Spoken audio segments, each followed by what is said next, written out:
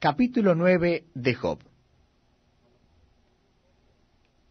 Respondió Job y dijo, Ciertamente yo sé que es así. ¿Y cómo se justificará el hombre con Dios? Si quisiere contender con él, no le podrá responder a una cosa entre mil. Él es sabio de corazón y poderoso en fuerzas. ¿Quién se endureció contra él y le fue bien? Él arranca los montes con su furor y no saben quién los trastornó. Él remueve la tierra de su lugar y hace temblar sus columnas. Él manda al sol y no sale, y sella las estrellas. Él solo extendió los cielos y anda sobre las olas del mar. Él hizo la Osa, el Orión y las Pléyades, y los lugares secretos del sur. Él hace cosas grandes e incomprensibles, y maravillosas sin número. He aquí que Él pasará delante de mí, y yo no lo veré, pasará y no lo entenderé. He aquí arrebatará, ¿quién le hará restituir? ¿Quién le dirá, ¿qué haces? Dios no volverá atrás su ira, y debajo de él se abaten los que ayudan a los soberbios. ¿Cuánto menos le responderé yo, y hablaré con él palabras escogidas? Aunque fuese yo justo, no respondería, antes habría de rogar a mi juez. Si yo le invocara, y él me respondiese, aún no creeré que haya escuchado mi voz, porque me ha quebrantado con tempestad y ha aumentado mis heridas sin causa. No me ha concedido que tome aliento, sino me ha llenado de amarguras. Si habláremos de su potencia, por cierto, es fuerte. Si de juicio, ¿quién me emplazará? Si yo me justificare, me condenaría mi boca si me dijere perfecto, esto me haría inicuo. Si fuese íntegro, no haría caso de mí mismo, despreciaría mi vida. Una cosa resta que yo diga, al perfecto y al impío él los consume. Si azote mata de repente, se ríe del sufrimiento de los inocentes. La tierra es entregada en manos de los impíos, y él cubre el rostro de sus jueces. Si no es él, ¿quién es? ¿Dónde está? Mis días han sido más ligeros que un correo. Huyeron y no vieron el bien. Pasaron cual naves veloces, como el águila que se arroja sobre la presa. Si yo dijere, olvidaré mi queja, dejaré mi triste semblante y me esforzaré, me turban todos mis dolores. Sé que no me tendrás por inocente. Yo soy impío. ¿Para qué trabajaré en vano? aunque me lave con aguas de nieve y limpie mis manos con la limpieza misma, aún me hundirás en el hoyo, y mis propios vestidos me abominarán. Porque no es hombre como yo, para que yo le responda, y vengamos juntamente a juicio. No hay entre nosotros árbitro que ponga su mano sobre nosotros dos. Quite de sobre mí su vara, y su terror no me espante entonces hablaré y no le temeré, porque en este estado no estoy en mí. Libro de Job capítulo 10. Está mi alma hastiada de mi vida. Daré libre curso a mi queja. Hablaré con amargura de mi alma. Diré a Dios, no me condenes. Hazme entender por qué contiendes conmigo ¿Te parece bien que oprimas, que deseches la obra de tus manos y que favorezcas los designios de los impíos? ¿Tienes tú acaso ojos de carne? ¿Ves tú como ve el hombre? ¿Son tus días como los días del hombre o tus años como los tiempos humanos? ¿Para qué inquieras mi iniquidad y busques mi pecado, aunque tú sabes que no soy impío? y que no hay quien de tu mano me libre? Tus manos me hicieron y me formaron, y luego te vuelves y me deshaces. Acuérdate que como a barro me diste forma, y en el polvo me has de volver. ¿No me vaciaste como leche y como queso me cuajaste? Me vestiste de piel y carne, y me tejiste con huesos y nervios vida y misericordia me concediste, y tu cuidado guardó mi espíritu. Estas cosas tienes guardadas en tu corazón. Yo sé que están cerca de ti. Si pequé, tú me has observado, y no me tendrás por limpio de mi iniquidad. Si fuere malo, ay de mí. Y si fuere justo, no levantaré mi cabeza, estando hastiado de deshonra y de verme afligido. Si mi cabeza se alzare cual león, tú me casas, y vuelves a hacer en mí maravillas. Renuevas contra mí tus pruebas, y aumentas conmigo tu furor como tropas de relevo. ¿Por qué me sacaste de la matriz? Hubiera yo expirado, y ningún ojo me habría visto. Fuera como si nunca hubiere existido, llevado del vientre a la sepultura. No son pocos mis días. Cesa, pues, y déjame, para que me consuele un poco, antes que vaya para no volver a la tierra de tinieblas y de sombra de muerte, tierra de oscuridad, lóbrega, como sombra de muerte y sin orden, y cuya luz es como densas tinieblas. Libro de Job capítulo 11 Respondió Sofar Naamatita y dijo, Las muchas palabras no han de tener respuesta, y el hombre que habla mucho será justificado. Harán tus falacias callar a los hombres, harás escarnio, y no habrá quien te avergüence. Tú dices, mi doctrina es pura, y yo soy limpio delante de tus ojos. Mas, oh quien dirá que Dios hablara y abriera sus labios contigo, y te declarara los secretos de la sabiduría, que son de doble valor que las riquezas. Conocerías entonces que Dios te ha castigado menos de lo que tu iniquidad merece. ¿Descubrirás tú los secretos de Dios? ¿Llegarás tú a la perfección del Todopoderoso? Es más alta que los cielos. ¿Qué harás? Es más profunda que el Seol. ¿Cómo la conocerás? Su dimensión es más extensa que la tierra y más ancha que el mar. Si él pasa y aprisiona y llama a juicio, ¿quién podrá contrarrestarle? Porque él conoce a los hombres vanos, ve a sí mismo la iniquidad y no hará caso. El hombre vano se hará entendido cuando un pollino de asno montés nazca hombre. Si tú dispusieres tu corazón y extendieres a él tus manos, si alguna iniquidad hubiere en tu mano y la echares de ti, y no consintieres que more en tu casa la injusticia, entonces levantarás tu rostro limpio de mancha, y serás fuerte y nada temerás, y olvidarás tu miseria o te acordarás de ella como de aguas que pasaron. La vida te será más clara que el mediodía, aunque oscureciere, será como la mañana. Tendrás confianza porque hay esperanza. Mirarás alrededor y dormirás seguro. Te acostarás y no habrá quien te espante, y muchos suplicarán tu favor. Pero los ojos de los malos se consumirán, y no tendrás refugio, y su esperanza será dar su último suspiro.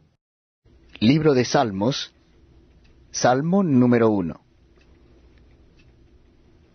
Bienaventurado el varón que no anduvo en consejo de malos, ni estuvo en camino de pecadores, ni en silla de escarnecedores se ha sentado, sino que en la ley de Jehová está su delicia, y en su ley medita de día y de noche.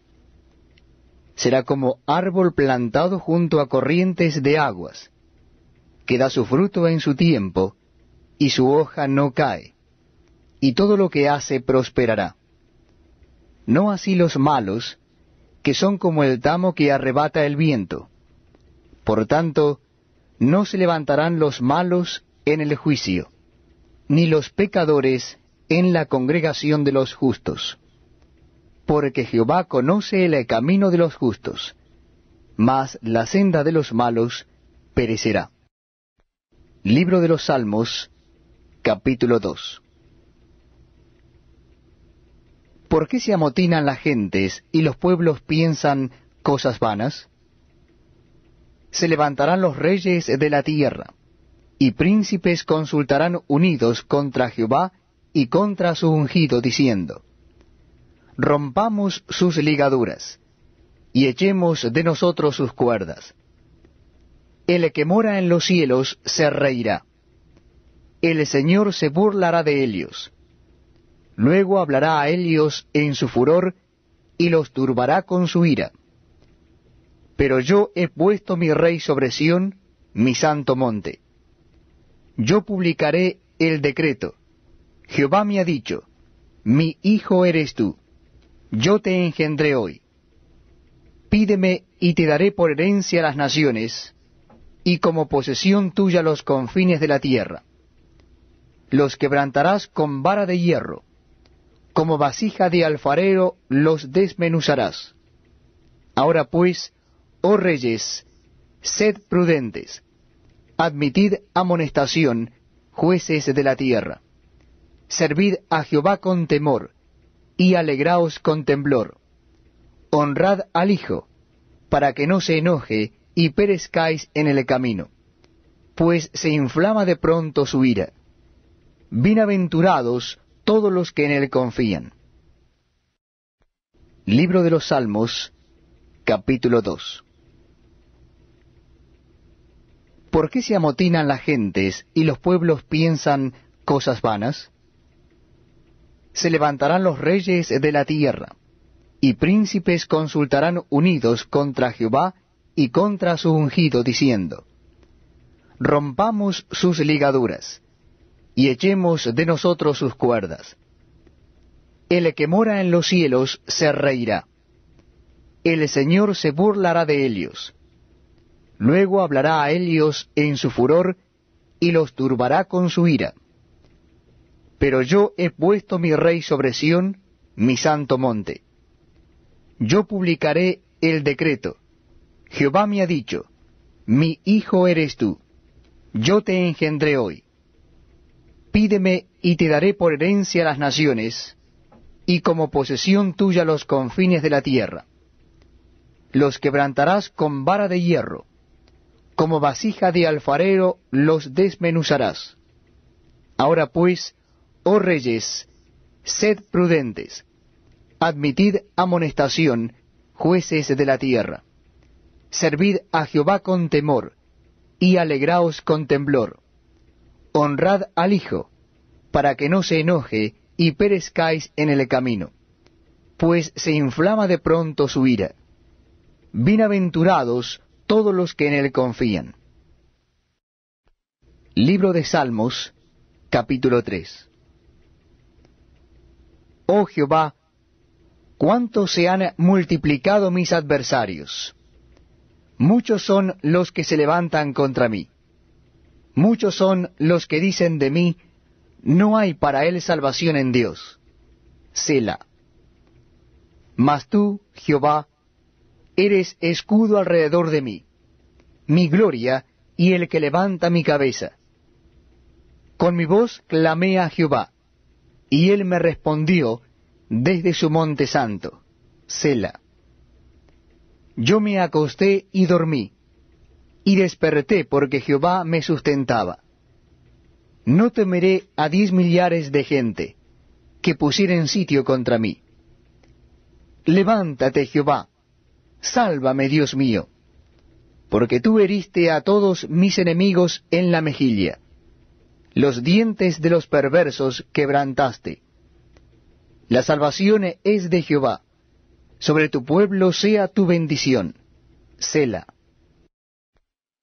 Libro de Salmos, Salmo número 4. Respóndeme cuando clamo, oh Dios de mi justicia. Cuando estaba en angustia, tú me hiciste ensanchar. Ten misericordia de mí, y oye mi oración. Hijos de los hombres, ¿hasta cuándo volveréis mi honra en infamia? Amaréis la vanidad, y buscaréis la mentira. Selah. Sabed pues que Jehová ha escogido al piadoso para sí. Jehová oirá cuando yo a él clamare. Temblad y no pequéis.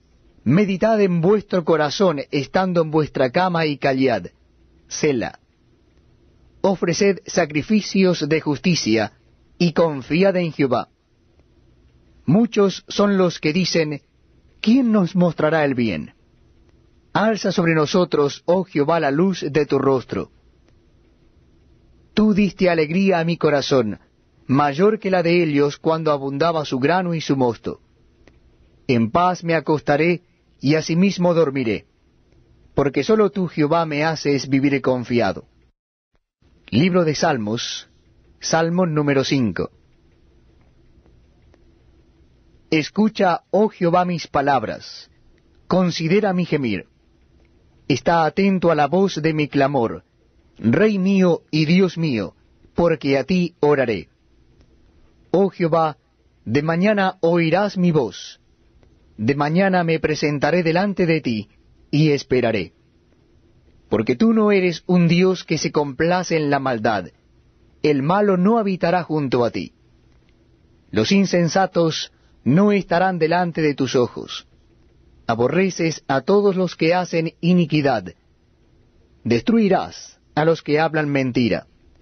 Al hombre sanguinario y engañador abominará Jehová. Mas yo por la abundancia de tu misericordia entraré en tu casa. Adoraré hacia tu santo templo en tu temor. Guíame Jehová en tu justicia a causa de mis enemigos endereza delante de mí tu camino. Porque en la boca de ellos no hay sinceridad. Sus entrañas son maldad. Sepulcro abierto es su garganta. Con su lengua hablan lisonjas. Castígalos, oh Dios. Caigan por sus mismos consejos. Por la multitud de sus transgresiones, échalos fuera, porque se rebelaron contra ti. Pero alégrense todos los que en ti confían den voces de júbilo para siempre, porque tú los defiendes. En ti se regocijen los que aman tu nombre, porque tú, oh Jehová, bendecirás al justo, como con un escudo lo rodearás de tu favor. Libro de los Proverbios, capítulo primero. Los Proverbios de Salomón, hijo de David, rey de Israel para entender sabiduría y doctrina, para conocer razones prudentes, para recibir el consejo de prudencia, justicia, juicio y equidad, para dar sagacidad a los simples y a los jóvenes inteligencia y cordura. Oirá el sabio y aumentará el saber, y el entendido adquirirá consejo, para entender proverbio y declaración, palabras de sabios y sus dichos profundos. El principio de la sabiduría es el temor de Jehová. Los insensatos desprecian la sabiduría y la enseñanza. Oye, hijo mío, la instrucción de tu padre, y no desprecies la dirección de tu madre, porque adorno de gracia serán a tu cabeza, y collares a tu cuello. Hijo mío, si los pecadores te quisieren engañar, no consientas. Si dijeren, ven con nosotros, pongamos acechanzas para derramar sangre, acechemos sin motivos al inocente, los tragaremos vivos como el Seol y enteros como los que caen en un abismo, hallaremos riquezas de toda clase, llenaremos nuestras casas de despojos echa tu suerte entre nosotros. Tengamos todos una bolsa. Hijo mío, no andes en camino con ellos. Aparta tu pie de sus veredas, porque sus pies corren hacia el mal, y van presurosos a derramar sangre. Porque en vano se tenderá la red ante los ojos de toda ave porque ellos a su propia sangre ponen acechanzas, y a sus almas tienden lazo. Tales son las sendas de todo el que es dado a la codicia, la cual quita la vida de sus poseedores. La sabiduría clama en las calles, alza su voz en las plazas. Claman los principales lugares de reunión. en las entradas de las puertas de la ciudad dice sus razones. ¿Hasta cuándo, oh simples, amaréis la simpleza, y los burladores desearán el burlar, y los insensatos aborrecerán la ciencia?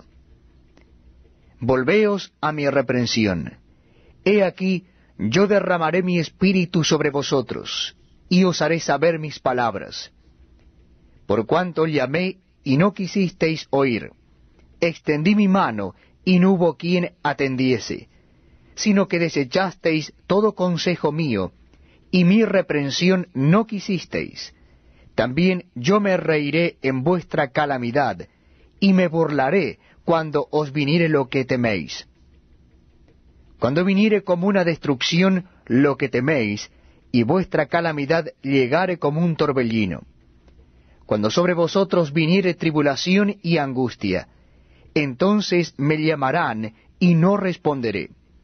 Me buscarán de mañana y no me hallarán, por cuanto aborrecieron la sabiduría, y no escogieron el temor de Jehová, ni quisieron mi consejo, y menospreciaron toda reprensión mía. Comerán del fruto de su camino, y serán hastiados de sus propios consejos. Porque el desvío de los ignorantes los matará y la prosperidad de los necios los echará a perder. Mas el que me oyere habitará confiadamente, y vivirá tranquilo, sin temor del mal.